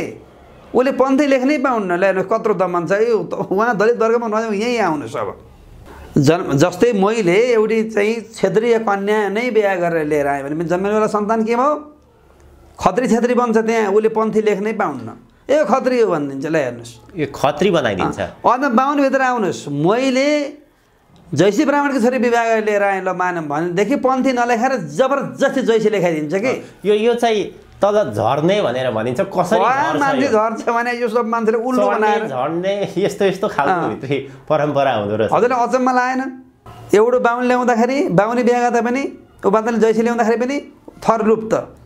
उसले बाहुनले चाहिँ छेत्री ल्याउँदा पनि थर लुप्त अनि उहाँ गएर चाहिँ दलित वर्गको ल्या लिएर आएपछि त मानव विश्वकर्माको छोरी लिएर आइयो भनेदेखि जन्मिनेवाला सन्तान के भयो सिधै बिग भयो। अनि हाम्रो परम्परा मिल्छ यहाँ त त्यस्तो त भएन नि त यहाँ त फेरि ऊ त माइतीको थर त लेखिएन नि यहाँ त। त्यहाँ लेखिन्न फेरि यहाँ किन लेखियो। हो यो यो नै लुट हो यो नै दमन हो यो नै अत्याचार हो यो नै नृशंसता हो। यो जस्तो हाँसो लाग्दो कुरो केही हुन्छ कतिले यो हाम्रो युवा पुस्ताले यहाँसम्म सोचेकै छैन कि? हो यही कारणले गर्दा नै हाम्रो हिन्दू सभ्यता चकनाचुर भएर फुटेको छ। यो चाहिँ हाम्रो गलत प्रकारको व्याख्या गलत प्रकारको बुझाइले गर्दाखेरि एकै भए त मान्न हुन्थ्यो नि। हजुर हजुर। एउटै त हुँदै भएन नि त कुल परम्परा त्यही हो वैदिक परम्परा मानेको छ तेह्र दिन क्रिया गरेको छ एघार दिनको दिन न्वारण गरेको छ सब हाम्रो संस्कार मिल्छ तर यहाँनिर त कस्तो चाहिँ विखण्डन त्यो ठ्याक्क मान्छेलाई चाहिँ जातीय रूपमा तल धस्ने के त्यसलाई र त्यसलाई दास बनाउने परम्परा जातको विषयलाई हामीले यसरी बुझ्न सकिन्छ उदाहरणको रूपमा जस्तै मकै एउटा जात भयो गहुँ अर्को जात अर्को जात भयो। तर मकैमा मकैको रातो कालो जस्तो प्रकारको भए पनि त्यसको वंश त मकै नै भयो फेरि। उपजात भनौँ न होइन। मकै छरेर गहुँ त उम्रन्न नि। अफ्रिकी निग्रो समुदायकी महिलासँग नेपाली कुनै पुरुषको बिरुवाले गर्व रहन्छ रहन्न। रहन्छ रहन्छ। अमेरिकाकी कुहिरो सेतो शरीर भएकी महिलालाई नेपाली युवकलाई पनि गर्व रहन्छ। रहन्छ। या नेपाली युवतीले विदेशीसँग विवाह गरेर पाकिस्तान अफगानिस्तानकी केटासँग बिहा गरेर गर्व रहन्छ। गर्व रहने भएको हुनाले त हामी मान्छे एउटै हौँ कि? मान्छेमा जातै छैन। तर पृथ्वीमा हामी भएका कति साढे सात अर्ब कति मान्छे छौँ नि अहिले हामी? चाहे काला हौँ चाहे गोरा हौँ चाहे अग्ला हौँ चाहे होचा हौँ चाहे थेप्चो नाक होस् चाहे चुच्चो नाक होस् चाहे जेसुकै होस् यो पृथ्वीमा जति हामी यो यो क्रम मिल्छ नि हाम्रो। यो न त गाईको बहरको गर्व भैँसिया रहन्न नि। कुखुराको भालेको गर्व परेवा पथीमा रहन्न नि। मयुरको गर्व जुरेर चरामा रहन्छ। त्यो मान्छेमा त रहन्छ नि त। अफ्रिकी मान्छेको गर्व बोकेर एसियनले चाहिँ संसारका जति पनि मानिसहरू छन् काला होस् गोरा होस्। भुसा होस् नाक लामो होस् थ्याप्सो होस् जस्तो सुकै होस्। दारी उम्रोस् नउम्रोस् हजुर। होइन? गर्व रहने भएको हुनाले गर्दा हामी मान्छे हामी एउटै जात हो। मानिसको त्यो जात वंश चाहिँ मानिस नै हो। मानिसै हो। त्यस्तो मान्छेमा जात यो यो चाहिँ कामै नलाग्ने कुरा हो यो। नत्र गर्व नरहन पर्छ कि? यो त विज्ञानले पनि त प्रुफ गर्न पर्यो नि। हुँ, हुँ, हुँ, हुँ। हजुर चित्त बुझ्यो बुझ्दैन मेरो चाहिँ यो कयौँ वर्षको अध्ययन यो हो। नेपालमा बडो यो साँगुरो चिन्तन भनौँ समाज यसरी गिजोलिएको छ यसरी घाँजिएको छ। तपाईँले संसारका त्यस्ता ठुल्ठुला इक्जाम्पल दिनुहोस्। बुझाउनुहोस् प्रयास गर्नुहोस् हजुर आफै पनि पैँसठी सालबाट लागिरहनु भएको छ। हाम्रा पिता पुर्खा हाम्रो समाज यो कुराले स्वीकार्न तयार छैनन् मान्दैनन् उनीहरू। उनको दिमागमै त्यही भरिरहेको छ कि मित्र? अब मैले कयौँ ठाउँमा वेद पनि पढाएँ। सँगै राखेर हवन पनि गराएँ। होइन अब मान्छेमा हाम्रो समाजमा चाहिँ बढी रूढिवाडी कुराहरू बढी छन्। गुल्मीको धुरकोटको कोटामा जातीय छुवाछुत अन्त्यको घोषणा गरेर मन्दिरमा चाहिँ उपेक्षित समुदायलाई भित्र लिएर गएर उहाँको चाहिँ पूजै गराएँ। हजुर हजुर। चैतमा यज्ञ भयो महायज्ञ। असारमा पानी आयो पहिरो गएछ अहिले तल। ल यहाँ सबै अछुतहरू चाहिँ मन्दिरमा पसालेर पहिरो हाल्यो। यो भीमकान्तले चाहिँ गल्ती गरौँ भनेर मेरो अफवाह मचाइदिए अब पहिरो मैले भने भाइ पहिरो त किख्ने भिरमा पनि गएको छ। उहाँ मेलम्चीमा त्यत्रो होइन कति बस्ती नै- जन बस्ती नै बग्यो। त्यहाँ के भयो त फेरि? कस्तो चाहिँ मान्छेलाई चाहिँ ब्रेन वास गरिदिन्छ ल हेर्नुहोस्। हामी चाहिँ सुधारवादी पण्डितहरू साधुहरू सन्तहरू यो समाजमा नजन्मेको होइन। अरू पनि धार्मिक अभियन्ता जन्मे जस्तै हाम्रो पूर्वमा पण्डित छविलाल पोखरेलजी वाचन शिरोमणि पण्डित नारायण पोखरेलजी योगी नरहरिनाथ राष्ट्रगुरु। डाक्टर स्वामी प्रपन्नाचार्य भगत सर्वजित विश्वकर्मा बागलुङका। यो समाजमा नजन्मेको होइन कि हजुर हजुर अब अलिअलि चाहिँ चेन्ज गर्न भएर आँट्यो ठ्याक्क त्यस्तो अफवाह मचाइदिन्छन् र अनि जनसमुदायलाई डर छ नि त रूपन्देहीमा एक ठाउँमा ल वेद पढ्दा केही पनि हुन्न भनेर मैले पढाएँ। यस्तै पब्लिक प्रोग्राममा ल आउनुहोस् ओम गणानान त्वा गणपति गुङ भनेर वेद पढाएँ एकजना। परिवार थर्का हुनुहुन्थ्यो उहाँ। अब बेलुकी उहाँको घरमा भैँसी बिमारी भएछ कि? दिउँसो छोराले वेद पढेको त्यही भएर वेद पढ्यो भने भैँसीहरू कहाँ चढ्छ भन्थे। त्यही भएर भैँसी बिमारी भयो भनेपछि मलाई बेलुकी फोन आयो गुरु दिउँसो वेद पढेको अहिले भैँसी बिमारी भयो भन्छ। कसरी सम्झाउनुहुन्छ त्यस्तो मान्छेलाई डर देखाएर त्यस्तो मान्छेलाई चाहिँ एकदमै त्यो के हो के हो? अदृश्यको यो- समाजमा जसरी दलित समुदाय भनेर भनिएको छ त्यो दलित समुदायभित्र जति पनि जातहरू छन् यस्तो अवस्था आइसक्यो कि अब त्यो जात लेख्न पनि मान्छेलाई अप्ठ्यारो अप्ठ्यारो। अब कतिले त गर्व पनि गर्नुहुन्छ। कतिपयले चाहिँ यो जातै नराखौँ कि भन्ने हिसाबले पनि यो पछिल्लो समय जसरी धरानका मेयर हर्क साम्पाङले एउटा स्ट्याटसले त्यत्रो तहल्का मचायो यो जात जुन जुन दलित समुदायभित्र भनेर जात भनिएको छ नि अब यसलाई हामीले कसरी लिने त्यसको अन्त्य कसरी गर्ने किनभने त्यो जातैको कारणले बिक लेखौँ दमाई लेखौँ अथवा जे जति जात छन् त्यो सुन्ने बित्तिकै मान्छेको मानसिकता नै अर्को भइदिने। यस्तो खालको छन्। यसलाई कसरी हटाउने? यसलाई तिन थरी कुरा पहिला जान्न पऱ्यो एक नम्बरमा हाम्रामा जो जात छ नि नेपालमा त जातै थिएन। यो जातै थिएन? नेपालमा जातै थिएन। यसलाई मैले हल्का व्याख्या गर्न थालेँ। नेपालमा कतिवटा सभ्यता? हामी ओमकार परिवारभित्र यो पूर्वीय सभ्यता त ओमकार परिवारभित्रको हो नि। चाहे पशु बलि दिऊ चाहे नदिऊ चाहे हवन गर चाहे यज्ञ गर चाहे पहाडको पूजा गर चाहे खोलाको पूजा गर हामी त पूर्वीय सत्य सनातन संस्कृतिका अनुयायी हौ नि हामी सबै। हाम्रोमा पाँचवटा सभ्यता छन्। एउटा खस सभ्यता एउटा हाम्रो गण्डकी प्रदेशको मगर सभ्यता एउटा यो काठमाडौँको नेवार सभ्यता एउटा पूर्वको राई सभ्यता किराँत सभ्यता किराँत सभ्यता किराँत सभ्यता राई भन्दा किराँत सभ्यता भनेर मानौँ। अनि हाम्रो एउटा मैथिली सभ्यता अरू पनि धेरै चाहिँ सतार सभ्यताहरू झाँगड अल्प अल्प समुदाय छ। राउटे पनि एक किसिमको अब अध्ययन भइराखेको छ ठकुरी समुदायमा पर्छ भने भन्दैछ। कुन निर्णयमा पुग्छन् होइन? समाजशास्त्रीहरू। धेरै धेरै सभ्यताहरू हाम्रा अरू नभएका होइनन्। तर खास मुख्य रूपमा खस सभ्यता मगर सभ्यता नेवार सभ्यता किराँत सभ्यता र मैथिली सभ्यता हो नि। यिनी कुनैमा पनि जात थिएन। जय स्थिति मल्लले सामाजिक वर्गीकरण नगर्दासम्म चौसठी जातमा नबाँड्दासम्म नेवार त एउटै थियो नि त। जाति छुत अछुतै थिएन। बिगारे सबै दक्षिणबाट आएकाले बिगारे। बिग्रिने काम चाहिँ दक्षिणबाट चाहिँ उहाँ जातीय प्रथा थियो उहाँबाट यता पछि बिगारिदिए। यहाँ राजाको ध्यान के अरे मोटिभेट गरे राजालाई। ए कहाँ यसरी हुन्छ? ब्राह्मण क्षेत्री वैश्य शूद्र। भनेर लिएर आइदिए। जय स्थिति मल्लको बुद्धि बिगारिदिए। नेवारमा हेर्नुहोस् त चौसठीवटा जात भने एउटा सगोल हेर्नुहोस् यो नेवार सभ्यता त विश्वमा अहिले हिन्दू सभ्यतामा र यही हाम्रो मन्दिर चिनिन्छन् चिनिन्नन्। पुरा संसारमा यत्रो विराट सभ्यता आर्जेको चाहिँ समुदायले ल- टुक्रा टुक्रा टुक्रा पारिदियो। हाम्रो मगर सभ्यता म गण्डकी प्रदेशमा जन्मेको। जातै थिएन। मगर जुन सभ्यता थियो एउटा हो क्या त्यो मगराज क्षेत्र हाम्रो। जहाँ म। जन्मेँ श्रीकृष्ण गण्डकी प्रचवण क्षेत्र। अहिले त्यहाँ पनि छुट्टा छुट्टै छुट्टा छुट्टै उहाँहरूमा पनि जब पछि यो जातीय विभाजन भएपछि छुट्टा छुट्टा छुट्टा छुट्टा छुट्टा एकदम पिस पिस पिस बन्यो त्यो सभ्यता पनि। कुनै बेलामा त त्यत्रो चाहिँ सभ्यता आर्जन गरेको होइन त। हरेक खोलाको नाम मगर भाषामा छ हरेक पहाडको नाम मगर भाषामा छ। पहाडको त्यत्र त्यत्र मन्दिरहरू कोटहरू त्यत्र गढीहरू कसले बनायो? मगर सभ्यताले बनायो। खस सभ्यतामा पनि जाँदै थिएन। दक्षिणबाट आएका र उत्तरबाट आएका धेरै जनसमुदायहरू हाम्रो अहिलेको सिन्जा प्रान्त कर्णाली प्रदेशमा। एकै ठाउँ जम्मा भए। मान्छे जताकतिबाट आएर के भयो एकै ठाउँ घालमाल भए घुलमिल भए। र त्यहाँबाट चाहिँ खस सभ्यता पूर्व नेपाली भाषा पनि त्यहीँ जन्म्यो। त्यहाँबाट पूर्व बढ्दै बढ्दै आए। हजुर हजुर हजुर। केही पनि थिएन। तिनै जस्तै खस सभ्यतामा चाहिँ सबभन्दा बढी पुजिने देवता मस्ट देवता। उही मस्ट पुज्छ सबैले। होइन? दराईले मस्ट पुज्छ कुमारले मस्ट पुज्छ बाहुनले मस्ट पुज्छ विश्वकर्माले मस्ट पुज्छ कुलदेवता एउटै छ। धामी बोलाउने बकाउने धोप राख्ने झाँक बहने शिला स्थापना गर्ने पूजाविधि एउटै छ। उसै गरी हातमा चमर घन्टी लिएर काम छ। कुलदेवता त्यसै गरी आउँछ। छ। हामी एकै ठाउँ चाहिँ घुलमिल भइयो त्यहाँ। कर्णाली प्रदेशमा सिन्जा उपत्यकामा एकै ठाउँ घुलमिल भइयो। पूर्व आएपछि जातीय वर्गीकरण हुँदै हुँदै गयो। कोही भाइले पूजा गराउँथे कोही भाइले छालाका काम गर्थे कोही भाइले चाहिँ सिलाइ गर्थे कोही भाइले दमा बजाउँथे। दमा बजाउनेलाई दमै भन्यो सिलाउनेलाई सुजी भन्यो। हजुर हजुर। सर्काइएर पर पारे त्यसलाई चाहिँ सार्की भन्यो। गाउने गीत गाएर भजन गाउने गीत गाउनेहरूलाई गाइने भन्यो। बोल्नेवाला काम गरे बन्दीजन भन्छ।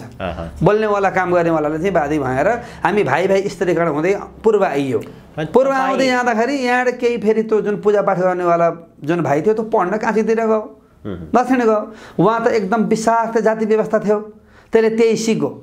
अनि उताबाट सिकेर यहाँ आएर जाति व्यवस्था लाद्यो र अनि हाम्रो खसमा पनि फेरि बाहुनभित्र पनि अनेक उपभेद छेत्रीमा पनि अनेक उपभेद छेत्रीमा उपभेद हटो अहिले। योगी नारायणनाथले गर्दा।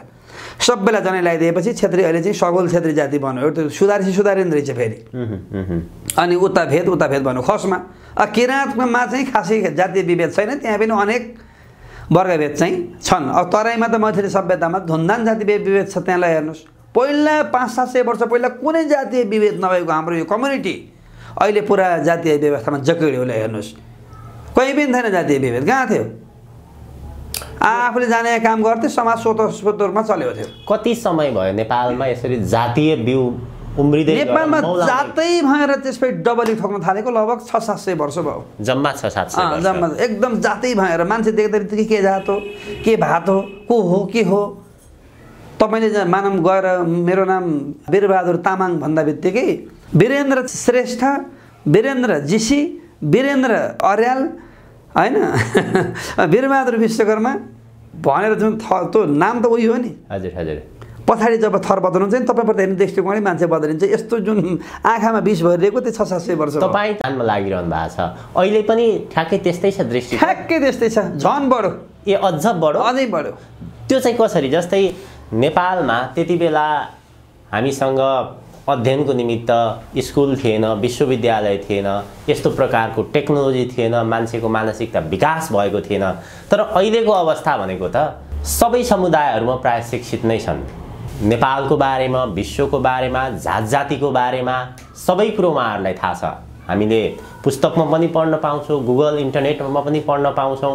यति मात्र नभएर अब यो सामाजिक विभेद जातीय विभेदलाई कसरी हटाउन सकिन्छ भनेर कानुन मार्फत पनि नेपालमा प्र्याक्टिस गरिरहेको अवस्था छ। धर्मनिरपेक्ष राष्ट्र भनेको छ र दलित समुदाय विशेष गरी उहाँहरूलाई चाहिँ प्राथमिकतै दिएर सरकारमा लाने व्यवस्था पनि गरिएको छ।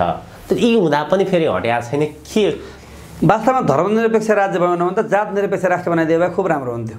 जात निरपेक्ष राष्ट्र? उम्. धर्मनिरपेक्षताको छुट्टी बहस छ त्यता फेरि भेट्नुलाई गरौँला हजुर। धर्मनिरपेक्षता ठिक कि बेठिक कति ठिक कति बेठिक यसले हामीलाई कति दियो अब के दिनेवाला छ या के हाम्रो बिगार्दैछ आदि कुरा जात निरपेक्ष बनाउन पर्ने थियो धर्मनिरपेक्ष बनाएर जातीय राज्यको अवधारणा ल्याइदिए कि जातीय छुवाछुत बढाउने काम नेताले नै गरेका हुन् जातीय छुवाछुत नहटोस् भन्ने कुरामा राजनीतिक दलहरू नै अगाडि छन् जस्तै यही कुरा संविधानमै दलित जाति हटाउने हो भने रामचन्द्र पौडेल शेरबहादुर देउबा पुष्पकमल दाल प्रचण्ड बाबुराम भट्टराई जो हाम्रा नेता छन् नि जुन को को दलका हुन् म त राजनीतिभन्दा बाहिरको मान्छे। हजुर हजुर। होइन? यिनले आफ्नो छोरछोरी विवाह चाहिँ उपेक्षित समुदायसित किन गरेनन्? जति पनि उपेक्षित समुदायका हाम्रा दाजुभाइ दिदीबहिनी हुनुहुन्छ पहिला यो पार्टीको दासताबाट मुक्त हुनुहोस् कि? यो जातीय यिनले विभेद चाहिँ हटाउन चाहन्नन्। सेकुलरिजम जुन छ नि यो धर्मनिरपेक्षतावाद भन्छ यो फुटाउ र राज गर हो यो। जुवाइड एन्ड रुल। फुटाउ र राज गर यिनको कामै फुटाउने हो। जातीय व्यवस्था पहिलो कुरो यिनले बढाए। जातीय राज्य कुरा लिएर आए किन चाहियो? जाति हामी एउटै हौँ भनेर थर लेख्न बन्धन लगाइदिएमा के के जान्थ्यो? जस्तै नेपालमा हामीले इतिहासलाई पल्टाएर हेर्दाखेरि जातीय विभेद विशेष गरी दलित समुदायमा छ तथाकथित दलित समुदायमा छ। अब त्यो विभेद चाहिँ विशेष गरी पछि त अरूले पनि गर्न थाले त्यो एउटा पाटो भयो। तर त्यो समुदायले विभेद गर्ने बाहुन छेत्री समुदायकै मानिसहरू।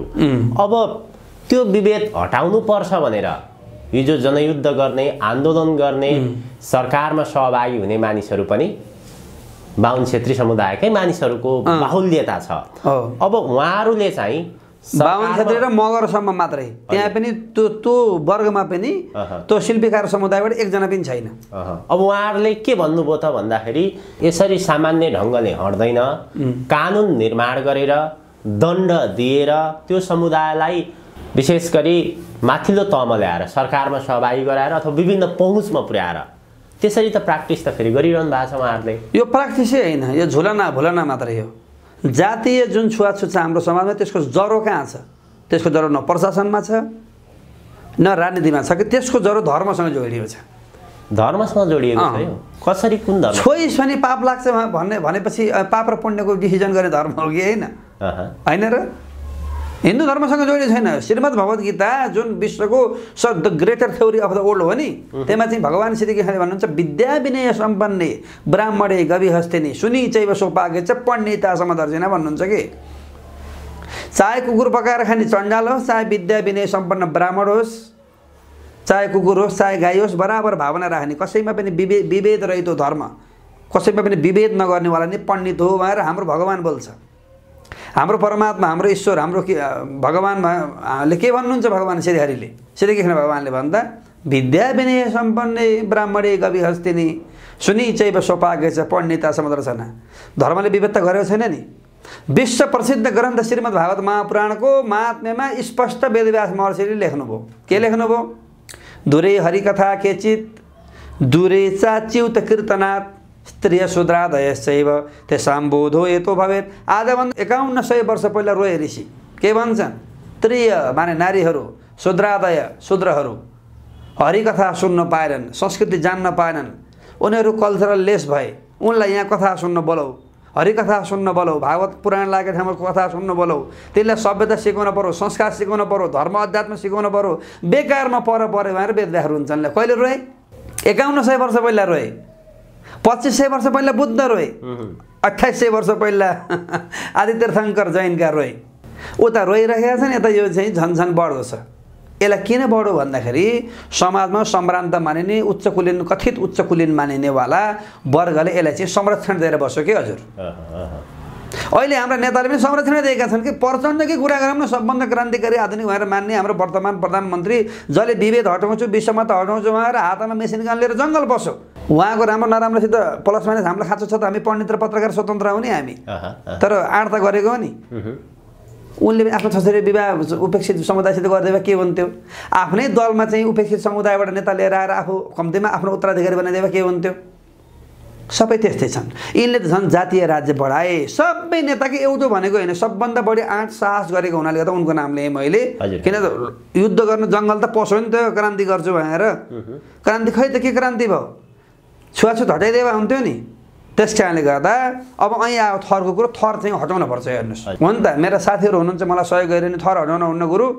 हाम्रो पहिचान हो भन्नुहुन्छ। पहिचान हो भने छुवाछुतमा त हटाउन त सकिन्न।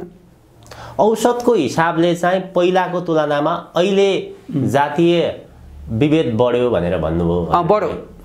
तर अब उहाँहरू चाहिँ के भन्नु कसरी बढ्यो भने एउटा राजनीतिक कुरा हो नम्बर वान यसले यसले चाहिँ यो मुद्दा बनायो। मान्छे जात बिर्सिएको थियो नि।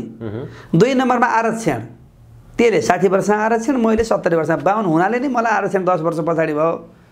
मान्छेमा के आएको थियो आरक्षणले त वास्तवमा कतिपयले त्यसलाई अवसरको रूपमा पनि लिए सदुपयोग गरे। नभए आरक्षण भन्ने बित्तिकै म त कमजोर उसको मनोबल त कमजोर मनोबल कमजोर हुने कुरो त आफ्नो ठाउँमा छ त्यो युवा पुस्तामा असर गर्ने रहेछ। हजुर। तर वृद्ध अवस्थाकालाई फाइदे हुँदो रहेछ।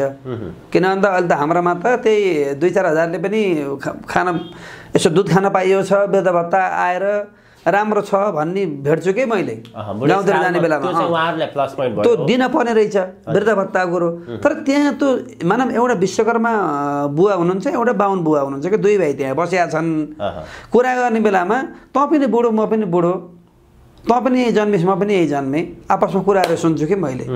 होइन? अब हाम्रोमा वृद्ध भत्ता दिँदा किन विभेद गऱ्यो होला? यसले के भन्दा जातको मुद्दालाई कोट्याइदियो कि? म बाहुन भएर ढिलो पाएँ ऊ चाहिँ उपेक्षित भएर पायो। अब यस्तै केही न केही सोध्दो हो नि तिनीहरूको दिमागले। जातीय कुरा कसरी कोट्याउने भएर चाहिँ सरकारले नै व्यवस्था गरेको छ क्या हेर्नुहोस्। त्यो वृद्ध भत्ता बराबर एउटै उमेरमा बाँडिदियो भए त यो मुद्दा त कोटिँदैन थियो नि। हजुर हजुर। मेरो दृश्यमा पनि पचासी पर्सेन्ट दिनुपर्छ किन हामीले हुन चाहिँ राणाकाल देखिएन। राजाको शासन पनि यही चालिस साल यताको अलिकति अनुभव गर्न पाइयो। तर भन्न चाहिँ के भन्थे भने जातीय छुवाछुतको कुरा राणाकालमा अत्यन्त धेरै थियो। राजाहरूको शासनकालमा पनि अत्यन्त धेरै यो जातीय विभेद थियो। त्यस कारणले गरिबी जातीय विभेद अन्त्य गर्नैको लागि नेपालमा राजतन्त्रमा भन्दा राणाकालमा जातले बढी प्रसर पायो। हजुर। त्यसमा कारण छ। जस्तै पृथ्वीनारायण शाहका पालाभन्दा पहिला त राजाको गद्दी बैठकमा हाम्रो उपेक्षित समुदायका मान्छे स्वतः जान्थे। राजाको बडा महाराजा धिराज पृथ्वीनारायण शाहको गद्दी बैठकमा विषय नगर्ची गएर गद्दी बैठकमा बसेर राजालाई सुझाव दिन्थे कि। त्यो बेला विभेद थिएन। सँगै खर्च पानी बोकेर ढाल तरवाल खुँडा कुकुरी खानेकुरो बोकेर सबै जाति समुदाय मिलेर लडेर नेपाल बनाएको होइन भने त्यो बेलामा जातीय व्यवस्था थिएन। ला त मैले पानी बोक्न सकिनँ बोक केटा भनेर छेत्रीले पनि दिन्थ्यो। ल बोक भनेर फेरि परियारले पनि दिन्थ्यो। होइन? त्यसरी चाहिँ भाइ भाइ मिलेर यो राष्ट्र आर्जन गरे। गोर्खाली राजाका पालामा त्यो पृथ्वीनारायण शाहको गद्दी बैठक रेडी हुन्जेलसम्म खाँची जातीय विभेद त्यति थिएन। गोर्खाली राजाको हकमा गोर्खाली राजाहरू पृथ्वीनारायण शाहभन्दा पहिला अलि उधार पनि थिए जस्तै जुत्ता लाएर खान पाइने आदि आदि। धेरै चाहिँ ऊ नमान्ने अलि अलि चाहिँ लजिकले आउन खोजे। पृथ्वीनारायण शाहका पालामा आइसकेपछि अनि जातले प्रसले पाएको त्यहाँ दरबारमा। जब राज्य विस्तार भएर चाहिँ नुवाकोट हुँदै बसन्तपुरसम्म आयो नि बाहिरी तत्त्वहरू घुसे। कोही युरोपियन तत्त्व पनि घुसे कोही भारतीय तत्त्व पनि घुसेर जात व्यवस्थालाई एकदमसँग मलजल गरिदियो कि? त्यहाँ। अनि दरबारमा बाहुनको वर्चस्व थियो फेरि छेत्रीका दरबारमा। उन त ठकुरी भए राजा। बाहुन पाण्डे अर्याल आदि गरिएका ब्राह्मणहरूको एकदम वर्चस्व थियो ब्राह्मणबाटै खतरा भयो राजालाई। अनि उनले उपाध्याय जयसी बनाएर बाहुनलाई लडाइदिए पृथ्वीनारायण शाहले। यो वर्गीकरण गरेर यो विखण्डन अहिले पनि लडाइँ छ बाहुनमा। यो लडाइँ ल्याइदिएको कसले रहेछ? पृथ्वीनारायण शाहले। उनले चाहिँ यो वर्चस्व हटाएर यिनलाई आपसमा डिभाइड गरेपछि आफू पर्वतमा गइन्छ उहाँहरू ल्याएको थिए त्यो समयमा त राजनीतिक रूपमा त ठिकै गरे। किन भन्दा उनलाई त्यही बाध्यतामा बाध्यता थियो। तर राजाले गरेको काम भएर यहाँ अहिलेसम्म लडाइँ छ ल्याइहेर्नुहोस् ठ्याक्क जब त्यहाँबाट अगाडि आएपछि हुँदै राणाकालमा आएपछि त ल्याइहेर्नुहोस् उपत्यकामा जति पनि तान्त्रिक पीठ छन् यत्र मठ मन्दिर बने वास्तु मिलेको छ दिशा मिलेको छ सब मिलेको छ नि। यो कसले बनायो त्यो बेलामा? सब नेवारले बनाएका हुन् नि। राणाकालमा आएर के भयो भन्दा नेवारले संस्कृति पढ्न नपाइने व्यवस्था गर्यो। हजुर हजुर। अहिले पनि गुरुकुलमा नेवारलाई पढ्न दिन्छ। काठमाडौँभित्र या बाहिर जति पनि हुन् ती सबै ठाउँमा बाहुनभित्र पनि दिन्न कि पढ्न?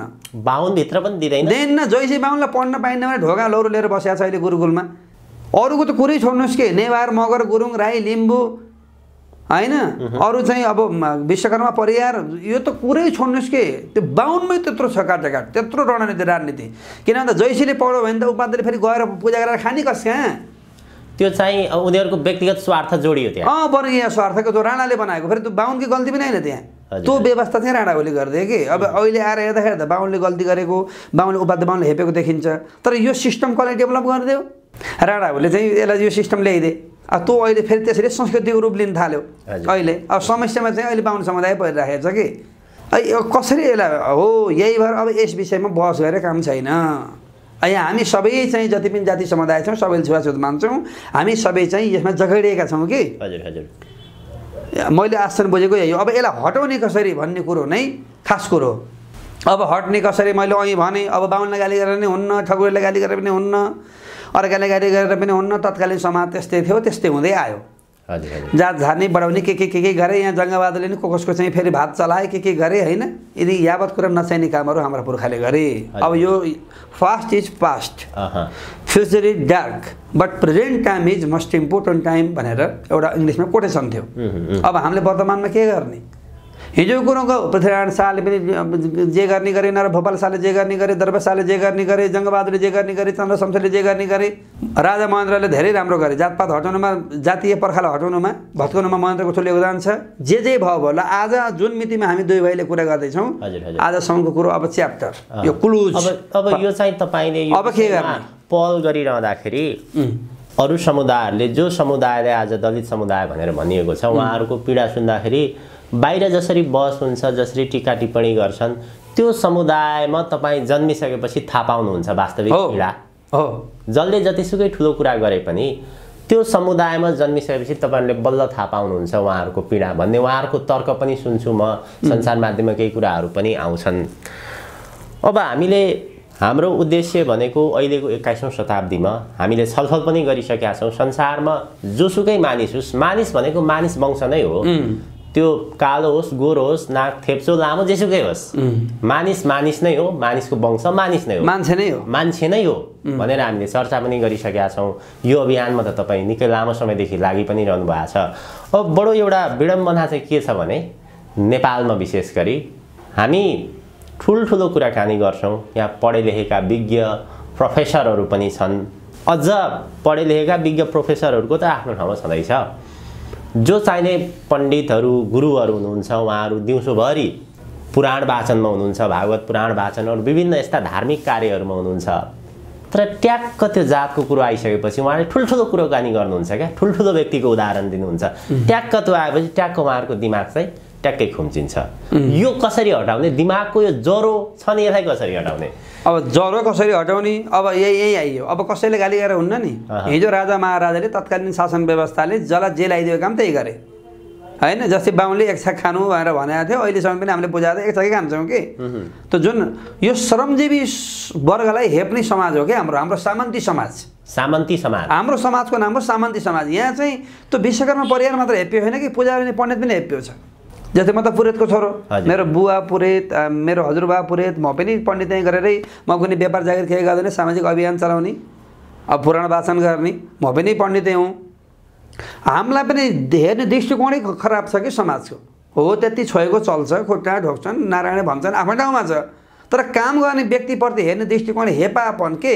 नेपालमा चाहिँ त्यस्तो के जस्तै अमेरिका चाहे तपाईँले घन आएर फलाम ठोक्नुहोस् चाहे कपडा सिलाउनुहोस् चाहे बसेर पढ्नुहोस् के? सप्ताह नै मञ्चमा चौकामा बसेर सप्ताह भन्नुहोस् त्यो काम गर्ने प्रति हेर्ने दृष्टिकोणै हाम्रो खराब। जस्तै नेपालमा त्यति बेला कामको आधारमा मानव जातको विभाजन गरियो। गरियो। तर अहिले जो समुदायले जसरी हेपिएको छ अब यो फलाम निर्माण गर्ने काम होस् अथवा चाहिने लुगा सिलाउने काम होस् यी कामहरूमा त प्राय अहिले यो लुगा सिलाउने काममा त बाहुन समुदायको धेरै ठुलो बाहुल्यता देखिन्छ। मेरै नातापातामा छ सातजना लेडिजहरू छोरी मान्छे मेरै नातापातामा नै अहिले सिलाइ बुनाइ गरेर चाहिँ परिवार पाल्नु भएको छ। यो त फेरि कस्तो चिज हो भने लुगा भन्ने चिज अनिवार्य आवश्यकताको विषय हो। यो जातसँग के महत्त्वको विषय भयो अरे। होइन यहाँ अचम्म यहाँ यो केहीसित महत्त्व होइन कि? त्यो व्यक्ति त्यो वर्गसँग त्यो त्यो अब के भन्ने दुश्मनी भन्ने कि अब के भन्ने के हो? हजुर हजुर। अहिले मैले भन्दै थिएँ नि हजुर मिठा कुरा गर्दै जानुभयो होइन? ल मानव मेरो नाम चाहिँ भीमकान्त नभएर मेरो नाम भीमबहादुर परियार भयो भने एकजना मान्छेसँग मैले मिठा कुरा गर्दै कलङ्गीबाट गाडीमा चढेँ बाटोमा पानी पनि खाँदै गयो मजाले गफगाफ गर्दै गयो थानकोट गइयो होइन? अनि अलि तर गएपछि त्यहाँ के गल्छी कि के भन्ने ठाउँ छ त्यहाँ बसेर अब मानव नास्ता खान थाल्यो अहँ।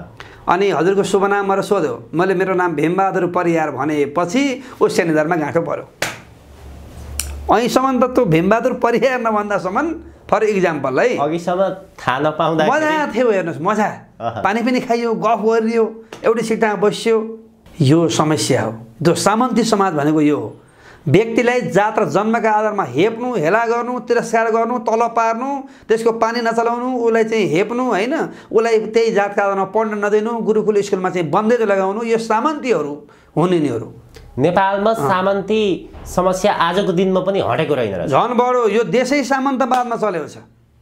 पुरानो सामन्तवादको आधारमा नयाँ सामन्तवाद अहिले जन्म्यो। त्यस कारण हाम्रोमा समस्या भनेको सामन्ती चिन्तन हो। त्यही भएर मैले मेरा चाहिँ शिल्पकार समुदाय साथीहरूलाई र धेरै गुरुहरूले नै मलाई सहयोग गर्नुहुन्छ। फेरि हाम्रो अहिले पण्डितहरूले चाहिँ छुवाछुत बढायो भनेर गुरुलाई मलाई सबभन्दा बढी सहयोग गर्ने नै गुरुहरू अहिले। ए हजुर हजुर। सबै गुरुहरू त्यस्तो हुनुहुन्न नि। केही छन् गुरुकुलमा पानी भएर बसिरहेका छन् आफ्नो ठाउँमा। सबै गुरुकुल पनि त्यस्तो छैन जस्तै देवघाटमा जय बागेश्वरी छ सबैलाई पढाउँछ। यता मटिहानीमा सबैलाई पढाउँछ।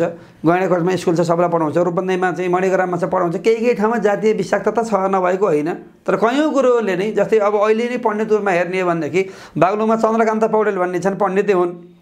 उनलाई त जातपातमा हटाउनु पर्छ भनौँ भने गाउँबाटै निकाले आफन्ती सबैले त्यागे। मेरो चाहिँ भाग्य बलियो मलाई कसैले हेला गर्नुहुन्न? मेरा मावली ससुराली दिदी बहिनी स- चेलाचेलीहरू भक्तजन सबैले मलाई चाहिँ प्रमोट गर्नुहुन्छ। यो मेरो आफ्नो लक पनि हो। चन्द्रकान्तलाई त्यत्रो विभेद भोग्न पर्यो कि जातिपाति छैन भन्दा। जस्तै हाम्रो रामकृष्ण उपाध्याय हिन्दू जागरण नेपालका। उहाँले पनि हिन्दूमा एकता हुनुपर्छ यो- स्वीकार्न चाहिँ कति सकिन्छ? जस्तै अहिले पनि केही पण्डितहरूले चाहिँ गरेका छन् भन्नु खोजेको। जस्तै म मात्रै छैन। केही आफूसँग त सँगै काम गरेको नाम त लिन पर्छ यसमा। मैले एउटा इक्जाम्पल दिन खोजेको। परिवर्तन गर्नु छ भने सुरुवात आफैबाट गर्नुपर्छ भनेर भनिन्छ श्लोकमा। हिजोको दिनमा प्रचण्डहरूले पनि जनयुद्ध लड्दाखेरि जे परिवर्तनको निमित्त उनीहरूले अपेक्षा गरेका थिए अथवा आश्वासन दिएका थिए तर उनीहरूले व्यक्तिगत रूपमा त्यसलाई अवलम्बन गरेनन् व्यक्तिगत रूपमा उतार्न सकेनन् जस्तै तपाईँ पैँसठी सालबाट म पैँसठी सालबाट जातीय छुवाछुत भनेको यो चाहिँ नि एकदमै सामान्य विषय हो। नेपालमा जातीय जातीयताको नाममा छुवाछुत हुनु हुँदैन मानिस भनेको मानिस नै हो मान्छेको जात भनेको मान्छे नै हो। हामी एउटै कुलका हौँ एउटै वंशका हौँ। यहाँ खालि कामको आधारमा छुट्याइएको मात्र हो भनेर यसरी भनिरहँदाखेरि तपाईँलाई नै आइपर्यो ल अब तपाईँ बाहुन समुदायको मान्छे पन्थी समुदायको। कथित सर्वोच्च बाहुन भएको। अब यसरी पेलेरै भन्नु तपाईँको चाहिने सन्तान कसैले? छोराले नै भनौँ छोरीले नै अर्को दलित समुदाय अहिले तथाकथित भनेको दलित समुदायमा सम्बन्ध जोडियो भने स्वीकार्न सकिएला किन नसक्नु भने हाम्रो घरमा जस्तै मेरो हकमा त। मेरो छोरो या छोरीले वैदिक सनातन हिन्दू धर्म मान्ने परिवार त आउनु पर्यो। किन कल्चर मिल्दैन कि फेरि? ए हजुर हजुर। किन संस्कृत जस्तै मैले रामलाई भगवान् मान्ने उसले मान्दैन भने त गाह्रो हुन्छ नि। फरक धर्मको मान्छे आउँदाखेरि त्यो समस्या आइदिन्छ कि उहाँलाई हेला गरे होइन। मैले मान्छे सबैलाई नमस्कार छ तर सिस्टम त मिल्न। संस्कृति संस्कार एकादशी दिन म व्रत बस्ने उसले एकादशी दिन त्यसपछि व्रत बस्दैन भने समस्या आउँछ। संस्कृति त चाहियो नि त। तर वैदिक सनातन हिन्दू धर्म मान्नेवाला मान्छे त्यसलाई सबैलाई ओके छ। मैले आफूमा यति धेरै चेतना भएन मैले त्यो बेला म आफैले अन्तर्वर्गीय बिहा दिन सक्थेँ। यो मान्छेको चित्त छ नि चित्त? केही चित्त छैन। मैले त हृदयबाटै हजुर। मैले त कति ठाउँ बसेँ। वास्तवमा नेपालमा सबभन्दा पहिला सँगै बसेर घिउ मैले होमाएँ। सबभन्दा पहिला जनै मैले ल्याइदिएँ। मैले अब पनि जनै लाउने अभियानलाई व्रतबन्ध जनै कुनै एउटा वर्गको पेवा होइन कि? यो हामी सत्य सनातन हिन्दू धर्मावलम्बी सबैको हो नि त। मगरको व्रतबन्ध हुन्छ केही ठाउँमा है। केही ठाउँमा यता गलेश्वरतिर केही वर्गले कति गर्नुहुन्छ नेवारहरूमा व्रतबन्ध गर्ने चलन छँदैछ थारू समुदायमा व्रतबन्ध गर्ने चलन केही समुदायमा छँदैछ सबैको छ। क्षेत्रीय बाहुनको मात्र त होइन नि। पछिल्लो अवस्थामा नगरे हुन्छ उहाँहरू त्यसपछि को कोले भाँडेर मान्छेले जनै लाउनु छोडेका हुन्। जनै लाएर विधिवत रूपमा वेद पढाउन पर्छ उहाँहरू अभियान चलाइराखेको छ कि? बुहारी बनाउने ज्वाइँ कोही ठुलो कुरो हो भने। उहाँहरू सत्य सनातन धर्मप्रति निष्ठा हुनु पऱ्यो अब आशा छ कोही त्यस्तो मान्छे भेटियोस् उहाँहरूलाई सन्धि पाउन पाइयोस्। त्यो समुदायकी कन्या चाहिँ हाम्रोमा मेरी बुहारी भएर आउन्। त्यो समुदायको चाहिँ योग्य मेरी छोइलाई मनपर्ने खालको वर चाहिँ ज्वाइँ भएर आउन्। त्यही त हो मेरो लक्ष्य उद्देश्य। नत्र यो चिज चाहिँ किन हिँड्न परेको थियो खुरु श्राद्ध गराउने सत्यनारायण पूजा गराउने भागवत गराउने खाने गरेर भइहाल्छ। चाहिँ धेरै ठुलो बनाइसक्नु भएको छ तपाईँ होइन जातीय छुवाछुत त मेरो हृदयबाट मैले त्यागेँ। मैले जनै समातेर एउटा चाहिँ ब्राह्मणका निम्ति यो ब्राह्मण कर्म जात भनेको अहिले जुन कर्म मैले ब्राह्मण कर्म गर्छु नि यसका निम्ति जनै भनेको यज्ञ पवित्र भनेको प्राणभन्दा नै प्यारो हुन्छ। जनै नै साक्षी राखेर मैले आजबाट जीवनमा कहिले पनि हिन्दूभित्र जातीय छुवाछुत गर्ने छैन भनेर जनै समातेर सङ्कल्प गरेको कि मैले? हिन्दूभित्र मैले जातीय छुवाछुत मेरो दिमागमा आउँदै आउन्न। अपवित्र पवित्र वा सर्वावस्थाङ्गत यस्वरित पुण्डरी कासिम सब अभ्यन्तर सूची राम जप्नेवाला सब पवित्र। धार्मिक हिसाबले पनि के? मान्छे हामी सबै पवित्र। तर कल्चरलभित्र आउँदाखेरि पनि राम जप्नेवाला सब पवित्र। कहाँ विभेद गर्ने कुरो हुन्छ? उही एउटै भाइ हो। हामी जुन शिल्पकार समुदाय छ हाम्रो कुल एउटै मूल एउटै अंशियार र वंशियार भन्छ कि? अंशियार हुन् हौँ हामी वंशियार हौँ हामी। एउटै कुल परम्परा एउटै रगत एउटै अनुहार। ल तपाईँको र मेरो यो अनुहार सँगै राखेर हामी दुई भाइ बसौँ यहाँ। तपाईँको थर धामी होइन। हामी दुई भाइ यहाँ बसौँ सँगै। के अरे हामी दुई भाइको छोरा दुई भाइ सानोमा ठुल्याएको छोरो। ल अब हामी त काला काला छौँ दुई भाइ एउटै पेटाको भयो भने पत्ता हुन्छ। किन अनुहार मिल्छ हाम्रो। हामी कता न कता रक्त सम्बन्धमा छौँ। धेरै पुस्तै भएको छैन पाँच छ सय वर्षमा कति पुस्ता जान्छ र। त्यस कारणले अब हटाउने कसरी भन्ने कुरो बताउन थालेँ मैले। हटाउने भनेको जसरी प्रशासनिक क्षेत्रमा राजनीतिक क्षेत्रमा उहाँहरूलाई सहभागी बनाएर प्रशासनमा र राजनीतिमा उहाँहरूको पकड बनाइयो नि त्यसै गरी धार्मिक क्षेत्रमा सहभागी बनाउन पर्यो। म मात्रै होइन अरू धेरै गुरुले अभियान चलाउनु छ जस्तै वाचन प्रमाण दिनबन्धु पोखरेल। अहिले मेरै समकालीन। हिन्दू जागरण नेपालका अध्यक्ष रामकृष्ण उपाध्याय। अनि स के अरे यो सङ्गत संस्कृति भनेर आफ्नो नाममा थरै हटाएर पुष्पराज पुरुष। हजुर हजुर। अहिले भने मैले राम के अरे हाम्रो चन्द्रकान्त पौडेल। केही युवाहरू पण्डितहरू गुरुहरू अहिले अरू अरू पनि यो जातीय छुवाछुत राख्न हुन्न भनेर उहाँहरूले नै अभियान चलाउनु भएको छ। मैले सम्झनु पर्छ कि? किनकि मान्छेले बुझ्छन् नि त अरू अरू पनि रहेछन् यो यो विषयमा बोल्ने भनेर। होइन? मैले त गरेकै छु। र त्यस कारणले हामीले संस्कृत विद्या पढाउनै पर्यो। जुन हाम्रो लक्षित समुदाय हो जुन उपेक्षित समुदाय हो त्यो वर्गमा पण्डित उत्पादन गर्नु पर्यो धर्मगुरु उत्पादन गर्न पर्यो। यदि धेरै जातीय छुवाछुत छैन छैन छैन भन्दा भन्दा पनि किन छ? भन्दा तिनीलाई पढाउँदै पढाइएन। त्यसको भित्री वास्तवमा त्यस भित्रीको ज्ञान चाहिँ जान्नु पर्यो। जान उहाँमा त्यो चेतनै छैन। चेतना नभएपछि मन्दिरको ढोका बाहिर बसेर टिका लगाइदेऊ भनेर भन्नुपर्ने अवस्था छ कि? यही अवस्था बाहुनभित्र पनि छ सनलाई। होइन? बाहुनभित्र पनि छ कम्तीमा बाहुनले त जनै त लाउन पाएको छ।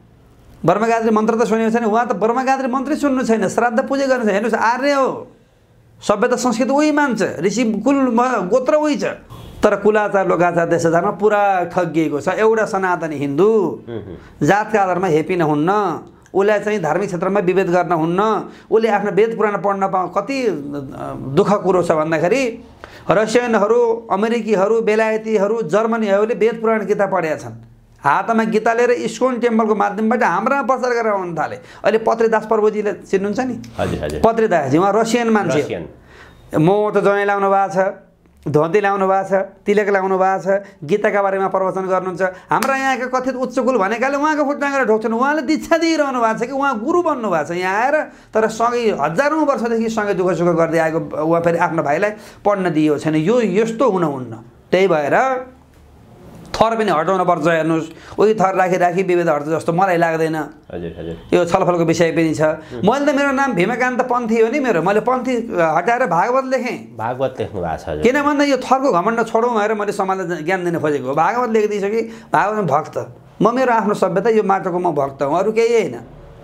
यसरी आफ्नो अब थर भनेको त आफ्नो जुन जुन उपाधिको आधारमा जुन पदको आधारमा सम्मान र अपमानको क्याटेगोरी छुट्टिन्छ नि। त्यसलाई हटाइदिए छोडिदिए के बिग्रो? भएर मैले चाहिँ यो गरेँ अब सबैलाई मन पर्ला नपर्ला आफ्नै कुरा छन् होइन? तर संस्कृत पढ्न पर्यो। हजुर। त्यही भएर देशमा जति पनि जातीय छुवाछुत हटाउन पर्छ। धन्न मेरा प्यारा चाहिँ त्यो चाहिँ उपेक्षित समुदायका साथीहरू यो संस्कृतिमा बस्नुहुन्छ। यदि मैले यही माइन्ड लिएर यही मस्तिष्क लिएर त्यो समुदायमा जन्मे भए मैले आजभन्दा बिसदेखि पच्चिस वर्ष पहिले नेपाल छोडिदिन्थेँ। यो धन्न उहाँ बस्न छ। पण्डितले जहिले नै सत्य बोल्नुपर्छ पण्डितले असत्य पत्रकार र पण्डित सधैँ सत्य बोल्नुपर्छ। तपाईँ पत्रकार म पण्डित। हामी दुई भाइले सत्य छोड्यौँ भनेदेखि समाज खतम हुन्छ। पत्रकार र पण्डितले किन हामी मान्छेका सम्पर्क त हामी जान्छौँ नि। हामीले समाजलाई जस्तो बनाऊ त्यस्तै बनाउन सक्छौँ। त्यसैले त्यो वर्गमा यही मती लिएर यही बुद्धि लिएर जन्मे भए बस्न गाह्रो छै छैन? यता छुवाछुत गरेको छ उता हेप्या छ हेर आयो आयो भनेको छ बाटा देखेर साइड परेन भनेको छ मन्दिर गई टिको लगाइदिन्न छोरो जन्म्यो घरमा गुरु आएर नारायण गरिदिन्न। कति पीडा छ ठेक भन्छन् साथीहरूले हाम्रो वर्गमा जन्मेर पहिला यो पीडा अवबोध गर्नुहोस् भनेको त्यो राम्रो कुरा हो। त्यस कारणले व्रत बन्द गर्नु पऱ्यो संस्कृत पढ्न पऱ्यो। कम्तीमा अहिले हाम्रो पैँसठी लाखको हाराहारीमा त्यो समुदाय छ अरू पनि छन् जस्तै अब हाम्रो जनजाति समुदाय पनि छ होइन सनातनी जुन मूलधारमा आउन पाएको छैन संस्कृत पढ्न पाएको छैन तर पानी चलेको छ कि? पानी नै नचल्ने भने ठोक्यो वर्ग जुन छ उहाँहरूले संस्कृत पढ्न पऱ्यो सांस्कृतिक मूलधारमा आउनु पऱ्यो। उहाँहरू शुद्र होइन नेपालका हकमा त जो हाम्रो अक्षित बनाएर राखेको छ उहाँहरू हाम्रै र वंशिया र हाम्रै दाजुभाइ हो। शुद्र भन्ने हाम्रा छँदै छैन। यो नचाहिने कुरामा कसरी विश्वास नगर्नु न म निवेदन गर्दछु। र यहाँहरू व्रतबन्ध गर्ने कार्यक्रममा जोडिनुहोस् आउनुहोस्। जसरी राजनीतिमा लडेर जुनसुकै दलबाट लडेर यहाँहरूले चाहिँ राज्य सत्तामा जानुभयो मन्त्री बन्नुभयो जसरी लोकसेवा लडेर गएर हाकिम बन्नुभयो अधिकृत बन्नुभयो सुब्बा बन्नुभयो होला कहाँ कहाँ के के बन्नुभएको छ त्यसै गरी संस्कृत पढेर संस्कृतज्ञ भएर यहाँहरू धार्मिक क्षेत्रमा पख्नुहोस् मन्दिरको पीठाधीश मठाधीश पण्डित पुरोहित योगी साधु सन्त जगद्गुरु के के पद छन् हाम्रा यहाँहरू बनिदिनुहोस् जब तपाईँहरू धार्मिक क्षेत्रमा आउनुहुन्छ धार्मिक क्षेत्रमा पख्नुहुन्छ बस्नुहुन्छ जहाँबाट तपाईँलाई विभेद भएको छ त्यही ठाउँको जब प्रमुख पदमा तपाईँ पुग्नुहुन्छ तपाईँ विभेद स्वत हट्छ योभन्दा अरू विभेद हटाउने उपाय केही पनि छैन। योभन्दा अरू विभेद हटाउने उपाय केही पनि छैन। यदि यो महाअभियानमा जोडिन चाहनुहुन्छ भनेदेखि यहाँहरू मसँग जोडिन सक्नुहुनेछ। र बढीभन्दा बढी कम्तीमा पनि पाँच हजार संस्कृतका पण्डितहरू हाम्रो उपेक्षित समुदायबाट निकाल्यौँ भनेदेखि जाति प्रथा गोल आउट अफ नेपाल भएर जान्छ। यहाँ जातै रहन्न। यो कुरो मैले निवेदन गर्दछु। अत्यन्त आभारी छु गुरु। हजुर। हजुरको यो महत्त्वपूर्ण समय जनचेतना फैलाउने उद्देश्यले जसरी लागिरहनु भएको छ यो कामप्रति म अत्यन्त आभारी छु। धेरै धेरै धन्यवाद। धन्यवाद मलाई पनि यहाँ आउने आफ्नो कुरा राख्ने अवसर मिल्यो र यो सुन्नुहुने सबैलाई पनि धन्यवाद छ। ओम नारायण हरि हरि